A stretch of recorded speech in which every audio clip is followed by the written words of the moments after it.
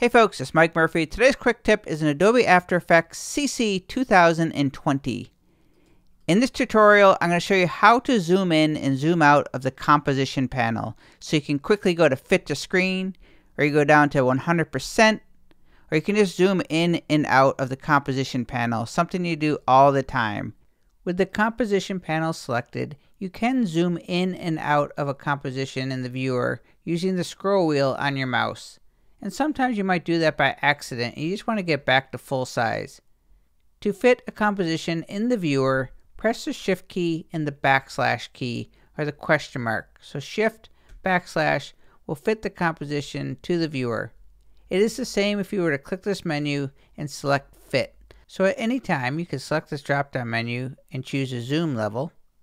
And if you ever want to get back to fit to screen, press the shift key and the backslash key and that will fit to the viewer. You can also use the comma and the period key to zoom in After Effects.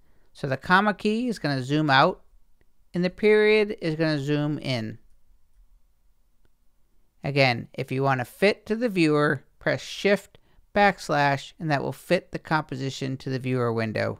My name is Mike Murphy. That is how you zoom in the composition panel of Adobe After Effects CC 2020. Cheers.